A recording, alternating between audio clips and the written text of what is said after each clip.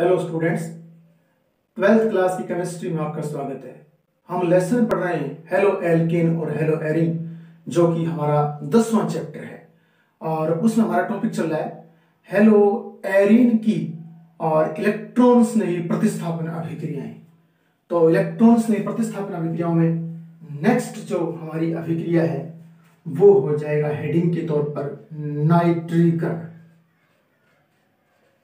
नाइट्रीकरण इससे जस्ट पहले हमने सल्फोनीकरण और क्लोरिनीकरण पूरा किया था। यानी कहने का हेलोजनीकरण और सल्फोनीकरण तो हम पूरा कर चुके हैं। अब बारी है नाइट्रीकरण की। तो ये नाइट्रीकरण हमारे यहाँ तीन नंबर पर लिखा जाएगा। तो नाइट्रीकरण। एक बात तुम्हें ध्यान में रखनी है। जब भी नाइट्रीकरण नाम आए तो पहले तुम्हें HNO3 उसमें मिलाना है। ठीक है ना? और उसमें एरो पर याद रखना। एरो पर आपके H2SO4 डालना होता है। वो बाद में डालना होता है। जब भी नाइट्रीकरण करवाएँ तो हमें हमेशा HNO3 डालना होता है। और जब सल्फोनीकरण करवाएँ तो हमेशा H2SO4 डालना होता है अकेले वाला। नाइट्रीकरण करवाऊं तो HNO3 के साथ H2SO4 की कुछ बूंदें डाली जाती हैं। तो नाइट्रीकरण में क्या होगा? आप रिएक्शन के माध्यम से, और समझिए पहले। ये हम हेलो एरिन ले लेते हैं सीएल वाली। यानी क्लोरोबेंजीन क्या है? एक हेलो एरिन है। और अब हम क्या करते हैं? इसमें HNO3 डालते हैं। और कौन से वाला? सांद्र वाला। कंसंट्रेट सांद्र HNO3 डाल देते हैं। और फिर क्या करेंगे? इन दोनों को आपस में मिला लेंगे। मिलाने के बाद कुछ समय पश्चात कुछ बूंदे ऊपर से सांद्र H2SO4 की डाल देंगे। किसकी? कंसंट्रेट H2SO4 सल्फ्यूरिक अम्ल जिसे आप बोलते हो, सांद्र वाले की। तो सांद्र HNO3 डालना है इसके साथ पहले। मिक्स दोनों को अच्छी तरह कर लेना है, फिर ऊपर से कुछ बूंदे सांद्र H2SO4 की डाल देनी है। अब क्या होगा? ध्यान देना, ये तो हमने कुछ बूंदे डाली तो उत्प्रेरक का काम करेगा H2SO4 तो। लेकिन HNO3 इसमें मुख्य अभिकर्मक का काम करेगा। एक तो अभिकर्मक क्लोरोबेंजीन हो गया, दूसरे वाला सांद्र HNO3 हो गया। HNO3 में एक समूह होगा, क्या करोगे? H बाहर निकाल दोगे। फिर उसके बाद में एक यहाँ से ओ बाहर निकाल दोगे। एक यहाँ से एच बाहर निकलेगा, एक यहाँ से ओ बाहर निकलेगा। तो ओ एच निकल गया। ओ एच निकलने के बाद में यहाँ क्या बचेगा? यहाँ आपके पास NO2 बचेगा। एक एच और एक ओ निकाल दोगे तो एन ओ टू बचेगा। ठीक है ना? अब ये एन ओ टू क्या करेगा? NO2 जाकर के इसकी ऑर्थो और पैरा पोजिशन पर जुड़ेगा। तो ये NO2 सपोज़ कीजिए एक बार मैं बताता हूँ कि इसकी ऑर्थो पोजिशन पर जुड़ रहा है। तो यहाँ से H कम होगा। एक यहाँ से H कम होगा वो, और एक O और H यहाँ से अभी कम हुआ था, वो। तो वो मिलकर के H2O बना लेंगे। या हो रहा है, यहाँ NO2 बच जाएगा। वो NO2 यहाँ जुड़ जाएगा। तो पहले मैं उत्पाद आपके सामने लिख रहा हूँ, समझाने के लिए। और आप ध्यान से देखना इंपॉर्टेंट अभिक्रियाएँ हैं, और ये एग्ज़ाम में पूछी जाती है। ठीक है ना? तो मैं दोनों आपकी ऑर्थो और पैरा उत्पाद एक साथ इकट्ठे लिख देता हूँ एक बार, और फिर मैं आपको समझाऊँगा। अब आप कहोगे कि ये जो NO2 लिखा है आपने वो कहाँ से आया? मैंने अभी बताया कि ये अभिकर्मक का काम कर रहा है, और इसमें एक H और एक O निकाल दोगे बाहर तो NO2 बचेगा। और ये NO2 हमेशा प्लस वाला होता है। कौन सा होता है? प्लस वाला। और ये NO2 इसकी ऑर्थो पोजिशन पर, उसकी पैरा पोजिशन पर जाकर जुड़ेगा। ये NO2 इसकी ऑर्थो पोजीशन या इसकी पैरा पोजिशन पर जाकर जुड़ेगा और जुड़ करके और ये उत्पाद बनाएगा। तो आप कहोगे कि यहाँ से H और O बचा था वो और यहाँ से जो H निकला वो H यहाँ से H निकला और यहाँ से ओ OH बच गया। और अब यहाँ से भी H निकला और दोबारा एक ओ OH इसमें से और बच गया। तो इसको तो हम यूँ डबल कर देंगे। बहुत बाद की बात है। यहाँ भी दुगना करना पड़ेगा। क्यों?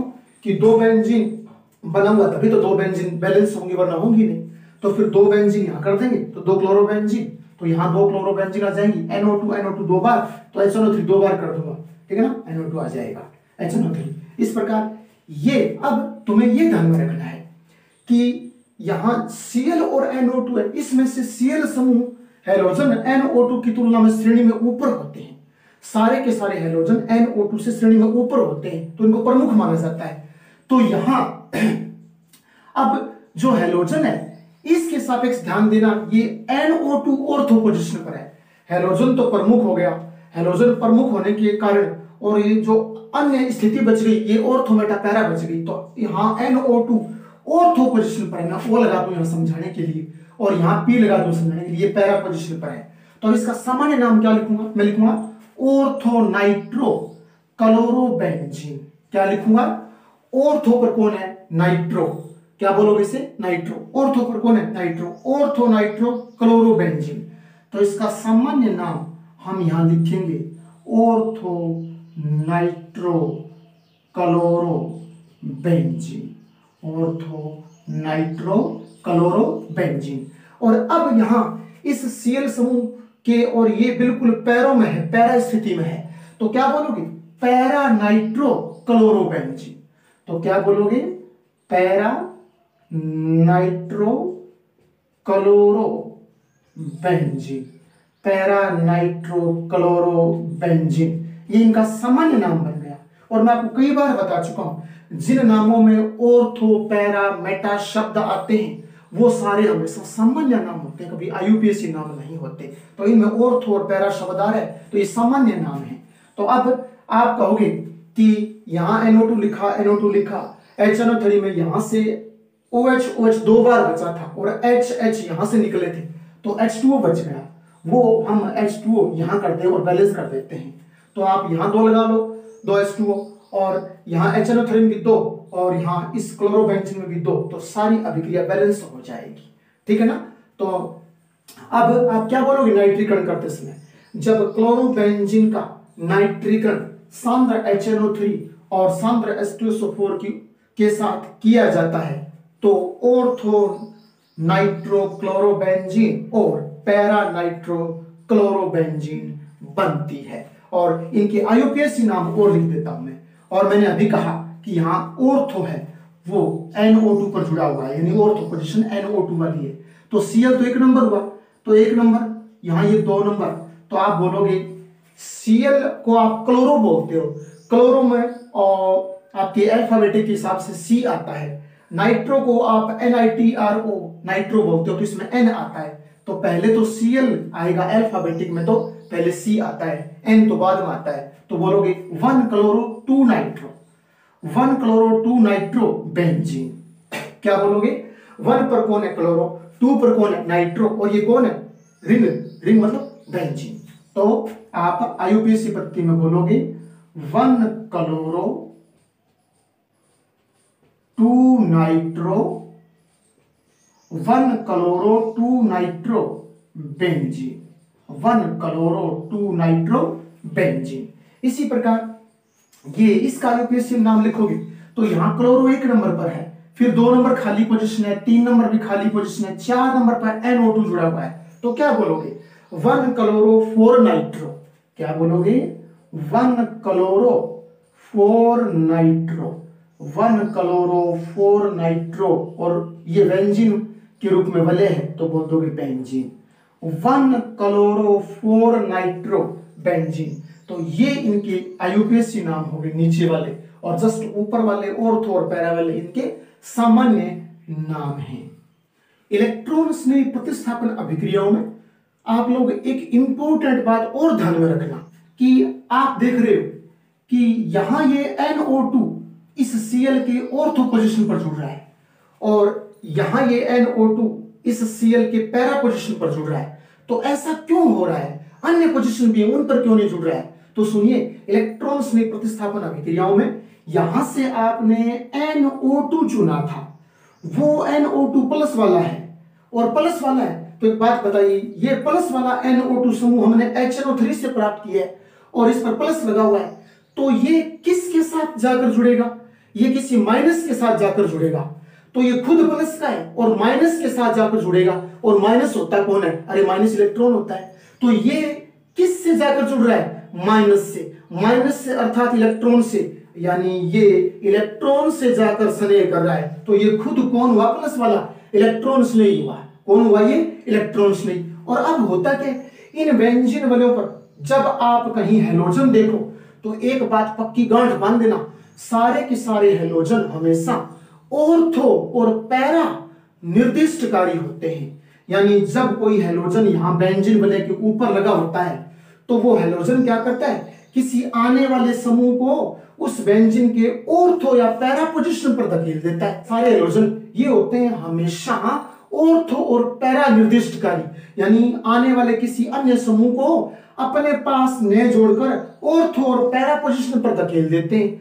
तो ये सीएल क्या करेगा? जैसे ये NO2 यहाँ से आएगा इसके साथ जुड़ने के लिए तो ये सीएल क्या करेगा? इस NO2 को इस ऑर्थो पोजिशन पर धकेल देगा तो ये ऑर्थो पर जुड़ जाएगा। ठीक है ना? ऑर्थो पर जुड़ जाएगा तो ये उत्पाद कम मात्रा में बनता है। फिर उसके बाद में ये सीएल धीरे धीरे क्या करेगा? इसको पैरा पोजिशन पर धकेल देगा और पैरा वाला उत्पाद अधिक मात्रा में बनता है हमेशा। क्यों बनता है? क्योंकि इसमें सम्मिति पाई जाती है। सीएल एनओ के पैरों में है तो यहाँ सम्मिति पाई जाती है। तो ये हमेशा पैरा पोजिशन वाले स्थायी होते हैं। अगर प्रश्न पूछे, क्यों स्थायी होते हैं? क्योंकि इनमें एक डिग्री के कोण पर सम्मिति पाई जाती है। इसलिए किसी अन्य उत्पाद की तुलना में पैरा उत्पाद हमेशा स्थायी होता है। तो फिर अब क्या करेगा? ये सीएल और इस आने वाले NO2 को, ये सीएल इस आने वाले NO2 को ऑर्थो के बाद पैरा स्थिति पर धकेल देता है। तो यहाँ पैरा पर इसको धकेल देगा और ये पैरा पर जुड़ जाएगा। तो इसका अर्थ ये हुआ NO2 खुद ऑर्थो और पैरा पर जाकर नहीं जुड़ा है बल्कि इस सीएल ने क्या किया? इस NO2 को निर्देशित किया है कि आप ऑर्थो या पैरा पोजिशन पर जाकर जुड़ो। तो सीएल कौन हुआ? ऊपर लगा हुआ सीएल कौन हुआ? ऊपर लगा हुआ सीएल ऑर्थो और पैरा निर्दिष्टकारी हो गया। यानी ऑर्थो और पैरा स्थिति के लिए निर्देश देने वाला बन गया।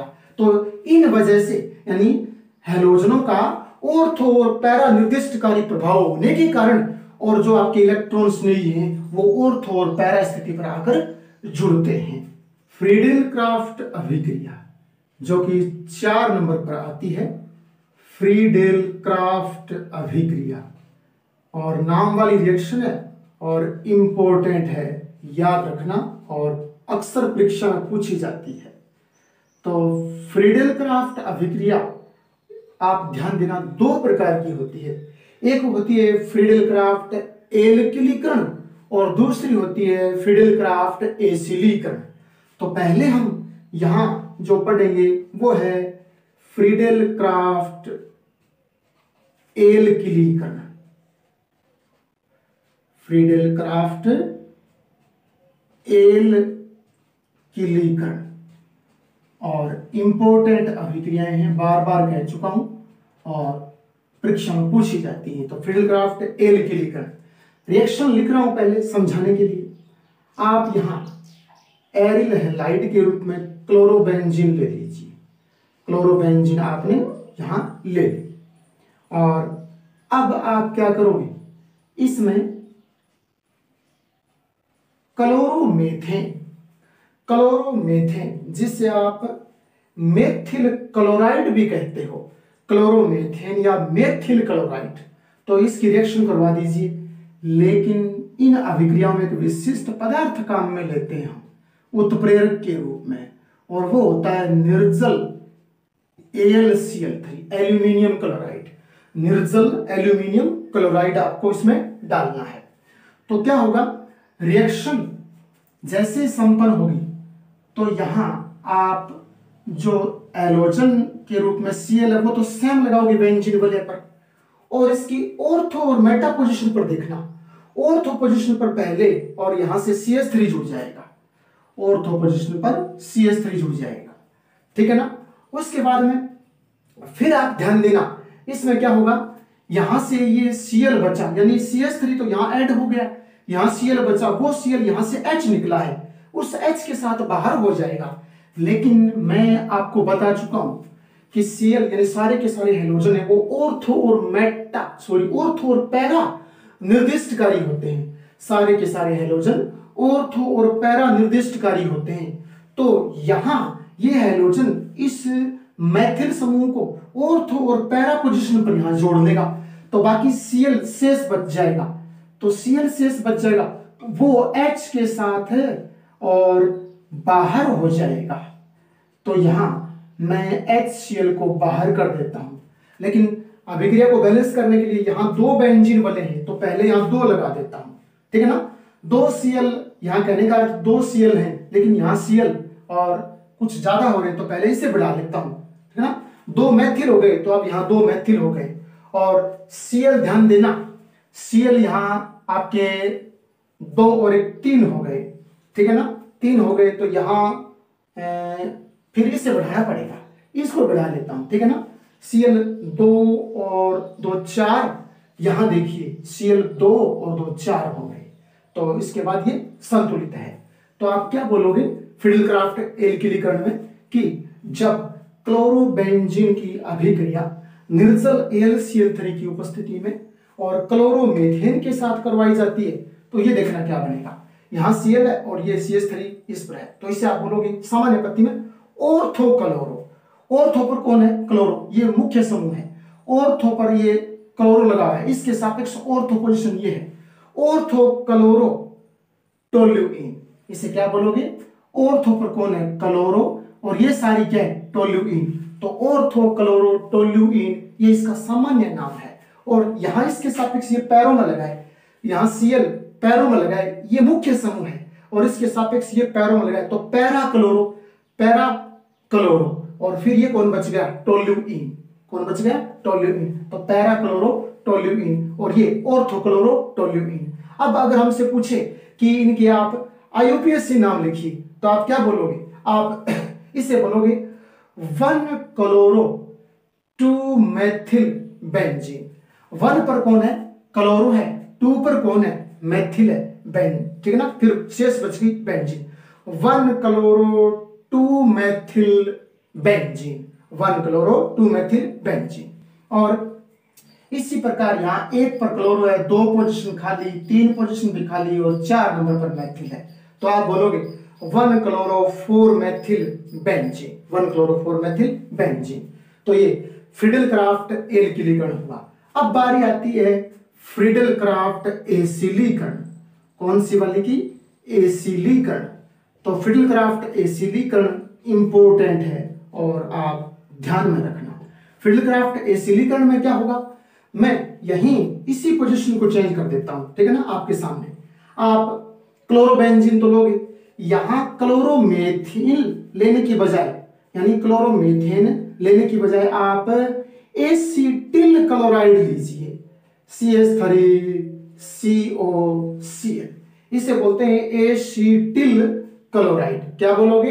Acetyl chloride. तो ये एसिटिल क्लोराइड हो जाएगी। एसिलिकरण नाम आए तो आपको एसिटिल क्लोराइड काम में लेनी है।